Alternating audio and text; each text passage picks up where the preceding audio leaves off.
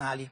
Onorevole Di Maio, la Camera ha bocciato la richiesta del Movimento 5 Stelle di rinvio in Commissione della riforma costituzionale. Cosa farete da qui a sabato, giorno de della deadline annunciata dal Governo per l'approvazione della riforma costituzionale? Ci occuperemo dei problemi dei cittadini. In questo momento il Parlamento è bloccato su leggi elettorali, riforme costituzionali, mentre Renzi a Palazzo Chigi taglia 9 milioni e mezzo di euro dalla terra dei fuochi in una zona dove la gente muore di tumore.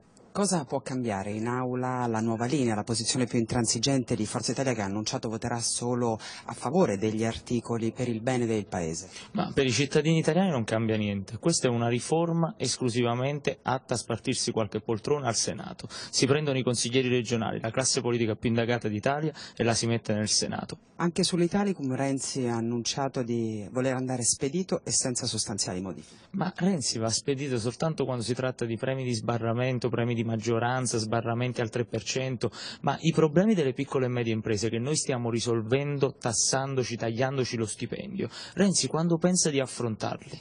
Vorreste più tempo per discutere il decreto legge cosiddetto banche popolari?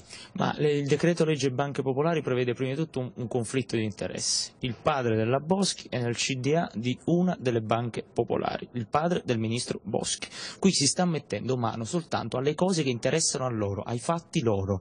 È un periodo di maggioranze variabili, il governo si allea con diverse forze politiche in base al tema in questione. Pensate di potervi inserire anche voi da qualche parte? Ma noi ci siamo per le cose buone, non siamo entrati qui dentro per dire sì a tutto, altrimenti bastavano Fini, bastavano Alfano, quelle persone che abbiamo visto negli ultimi vent'anni. Noi siamo entrati qui per fare cose buone insieme agli altri. Quando vorranno fare una legge anticorruzione che manda in galera finalmente chi si macchia dei reati di corruzione, noi siamo disponibili. Quando vorranno fare un reddito di cittadinanza, noi ci siamo. Per tutto il resto siamo il cane da guardia di un governo che pensa solo agli affari suoi.